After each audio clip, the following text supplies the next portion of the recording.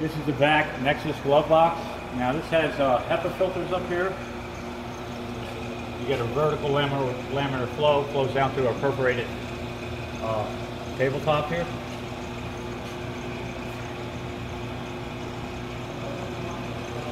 You get two chambers. An ante chamber, uh, large and small. Now this is heated. Maximum temperature is uh, 200 degrees Celsius. Up here you'll see is our screen. You can see we're at right now we're at 0.6 ppm of oxygen and uh, almost at 1 ppm of uh, moisture, slightly above that. Here's our pressure. We set our, our, our range is between plus and minus 5 right now. You, that can be changed. And we're right about zero in pressure. And our blower speed is at 50. Now to control your operator panel here, you, you do you have a uh, an operator panel down here. There is no light connected right now, so uh, the light is left off. And to step through your screen up here, you hit the function keys.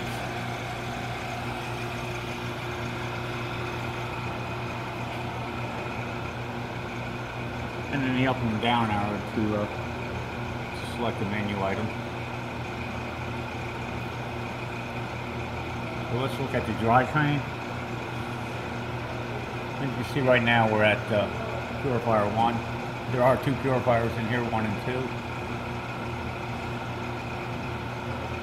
And this is where you would, you select your uh, purifier or your regen. And to get out of that, we just hit the escape button. And get back to the main screen. So like I said, we have two purifiers inside of here. We have the covers on it right now. The media in both have been replaced, the mol sieve and the uh, copper catalyst. So you have fresh media in both the uh, purifiers. Over here is our oxygen sensor. That's the cell for the oxygen sensor is new. We just replaced that. And if we walk around this side here, I'll show you where the moisture sensor is. Oh, while we're coming across, this is a uh, is for the static elim eliminator bar that's uh, located inside the glove box.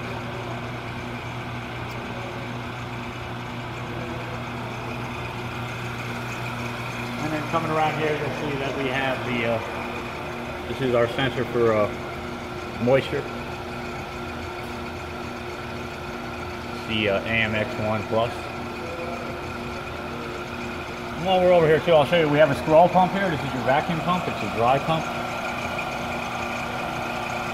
It's used to bring the pressure down inside the glove box. It's also used during regeneration. And it's used to remove the uh, atmosphere from the uh, ante-chambers. Here's our OC1 controller. This is the only, uh, this uses 220 volts. The rest of the system runs off of 110. So I have a couple of plugs here.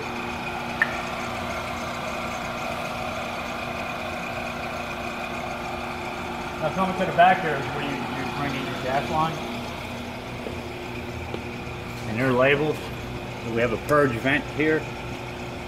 There's a pressure gauge here and monitors the pressure of the uh, purifier.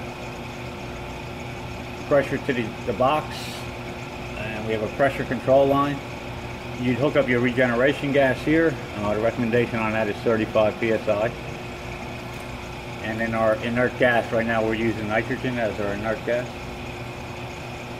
And then just coming up slightly here, you'll see this is our control for our blowers. There's two blowers on each one of these lines internally for the uh, laminar flow inside the box.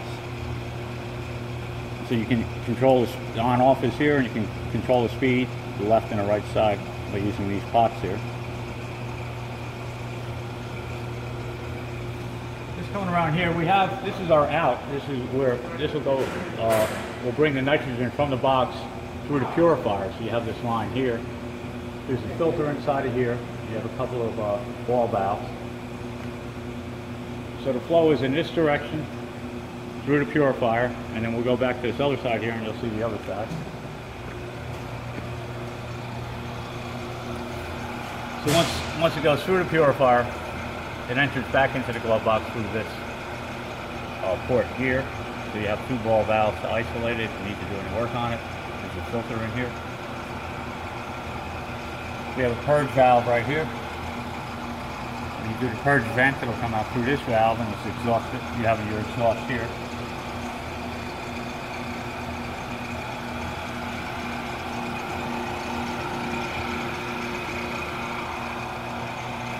Right now I have the mini ante-chamber under vacuum. Here's your gauge for that. This is all manual operated. So in order to bring that back up to atmosphere, you just open your refill valve. Close that off and then you can open your mini ante-chamber. Look inside of that.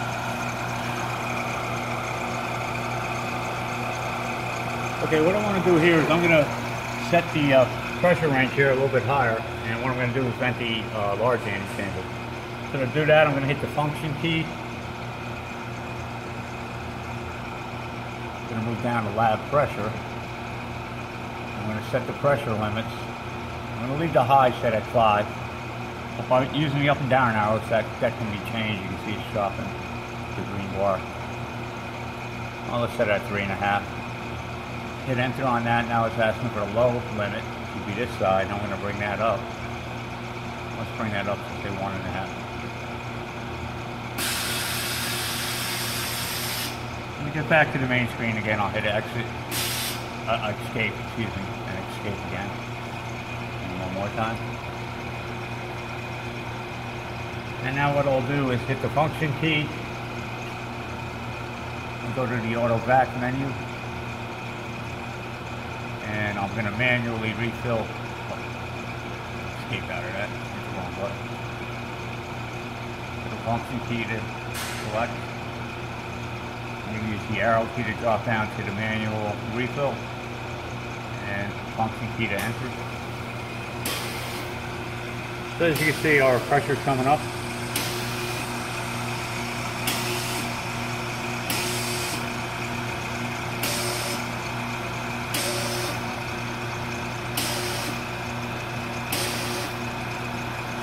Okay, we'll come back when we, uh, when we hit atmosphere. Okay, as you can see by this gauge here, and also by this, we have the uh, Pirani gauge here, which is looking at the uh, vacuum or the pressure inside the large ante chamber. You can see they're both at atmosphere. This is your Pirani gauge hooked up here. And while we're here, this is your uh, your ball valve to open up to uh, vacuum. Open the vacuum pump up to the antechamber. And this line is uh, a high pressure air line, it's necessary to uh, open this valve out. So I have that hooked up independently. So now that we're at atmosphere, I'll go back to the menu here. I'll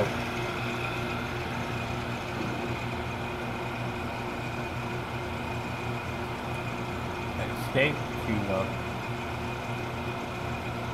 get back to the main screen. And what we'll do is we'll open the ante-chamber door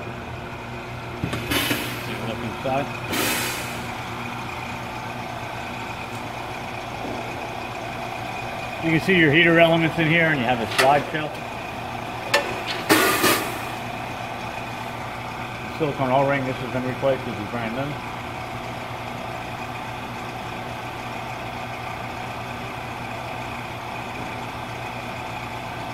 So what I'll do is I'll just uh, place this wrench in here and we'll transfer that back in close this up. Now we'll go back to the uh, auto vac menu, hit enter. Now we have a sequence in there, and we'll take a look at that. We'll set the evacuation time. So it's a minute and 30 seconds. And then a number of cycles. Oh, that's the time again. Let's go to the number of cycles and we'll do three cycles. And we'll start the uh, auto sequence.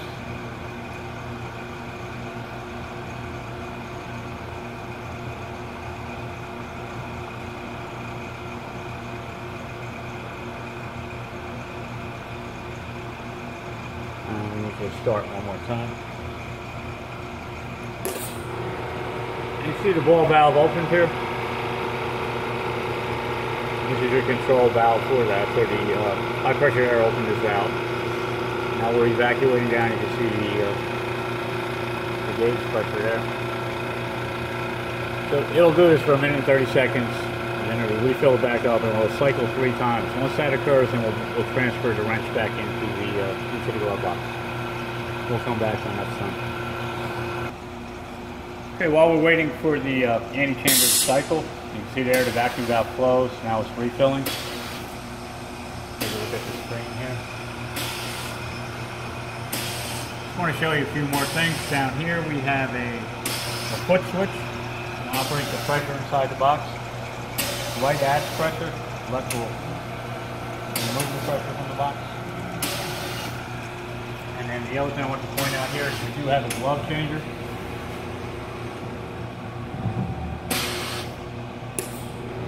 And the instructions on how to use this when you need to replace a glove are explained in the manual that you'll receive.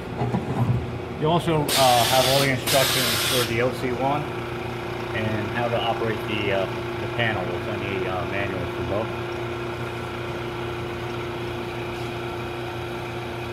Okay, it looks like we're in the second cycle now, so it's evacuating again. Like I said, it's been programmed 100, uh, a minute and 30 seconds to evacuate. It'll refill. Do that three times, then we'll transfer the wrench back in here. And uh, when that's ready to go, we'll come back. Oh yeah, one other thing I wanted to point out. As you can see, there is an, a door on the left-hand side of this glove box. It's uh, it's not non-functional right now. So what we did is we uh, we put a seal on the outside and blanked it off with this plate here. So if in the future you want to attach something to here, you can always just take this plate off and then uh, connect your air line up. And you'll be able to use that door on that side. But for now, it's sealed up tight. Non-functional.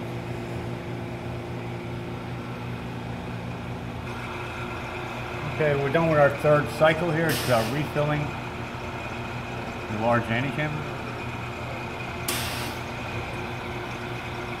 We're looking at our gauge here. We're almost at zero.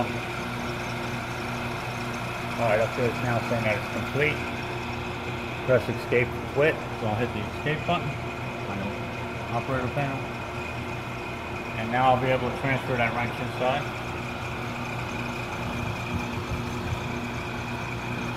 Um, let me let me open up the. Uh... Okay, what I'm going to do is I opened up the uh, the range here a little bit. I'm going to use the foot switch. and I'm going to take out some of the uh, pressure that's inside the box. So I don't have to fight with the gloves here. Get my hand in the glove.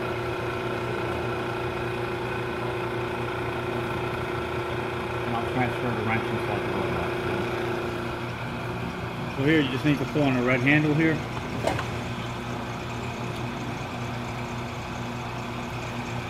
slide the shelf in. And I'll transfer the wrench inside the glove box. This is an example. I'll close that up.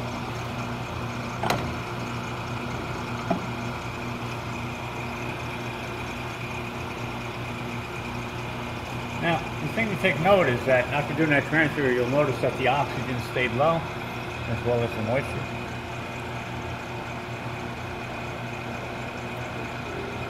Uh, so one final thing is I'll, uh, I'll explain the uh, OC1 here, the oven controller, and how that works.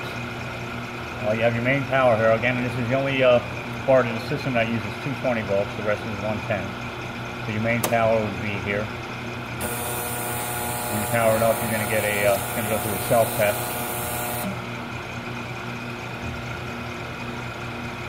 You've got an instruments on and off.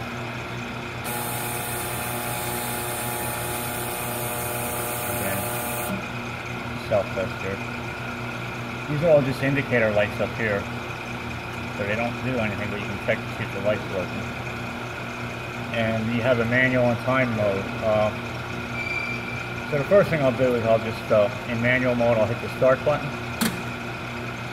And what that does is turn the heaters on. This being your temperature controller here, so it's set to 50. And then we have our uh, over temp protection set to 145. So in order to see the vacuum here, you have to go back into the main screen, which I'll do here. And we'll just manually evacuate the do manual evacuation here.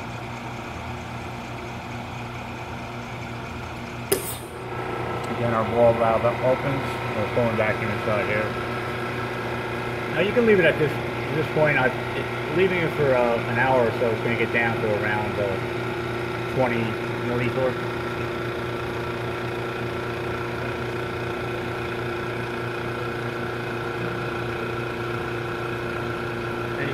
See that the temperature is starting to come up inside the ante-chamber.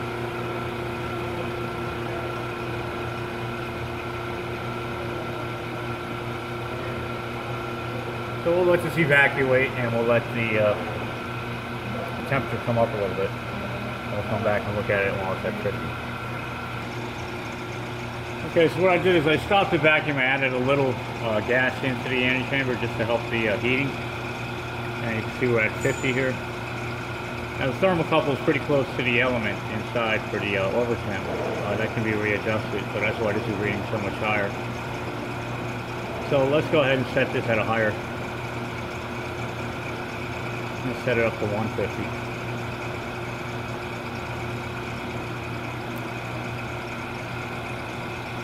And we'll come back and look at it at 150. Okay, we set this to uh, temperature the antechamber to uh, 150. Over temp can be set by hitting the set button here. Again, selecting. So I set that to uh, 200.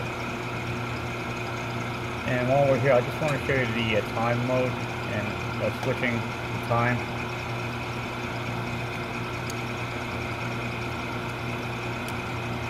Uh, we have our time set here.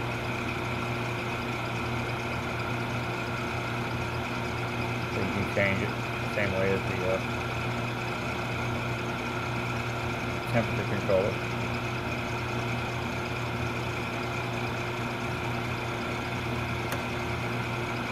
Let me just go to stop first.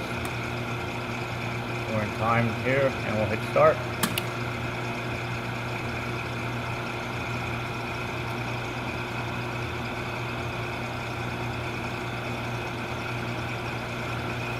So we're in minutes.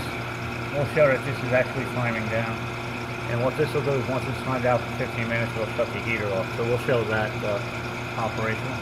We'll come back and take a look at that in a few minutes. Okay, you see the timer went down. It's now at 13 minutes, counting down. Our temperatures are coming up. And like I said, I did add a little gas into the antechamber so it heats a little bit better. And so we're at about uh, a vacuum.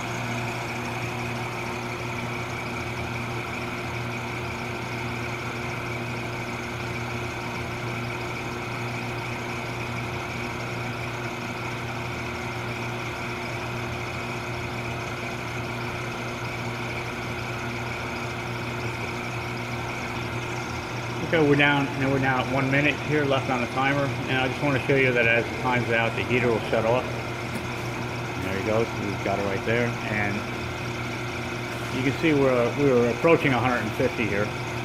At 128, but now the heater's off, so what I can do is always switch back to manual, hit stop, and then uh, hit start again. So now manually heating the ante-chamber. You see the temperatures are, are off a little bit. Again, I said the uh, we may need to reposition the overtemp uh, protection thermocouple. And you'll see that when you when you open the inside here. So if you need to reposition it, you could always reposition it to be more closely uh, associated with the 150 degrees.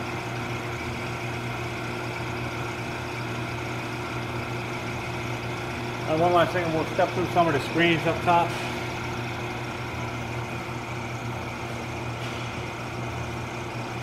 That's our auto vac menu. Hit escape to get out of that. The next one would be our purge menu. Take a look at that. You got your purge time, purge cycle, smart level. Again, all this is explained in a manual that you'll receive. Uh, we'll look at the Dri-Train. I think we looked at that already, but we'll quickly look at it again. This is where you select your purifier and your regeneration if you, need, if you want to do the regeneration.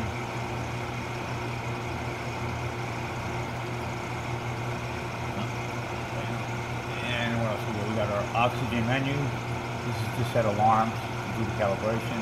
Again, this is in the manual. And you have a moisture menu. Again, to set your alarms. Low and high limit. And we're setting our lab pressure here. Pressure limits are set there. Safety limits I have set at 9.5 for the high, minus 9.5 for low. And finally, oh, there's a diagnostic routine. It's explained in the manual how to use that. And again, escape to get out. And just to point out one more time, we're at 0.5 oxygen level here. And minus 73 Celsius dew point for your moisture.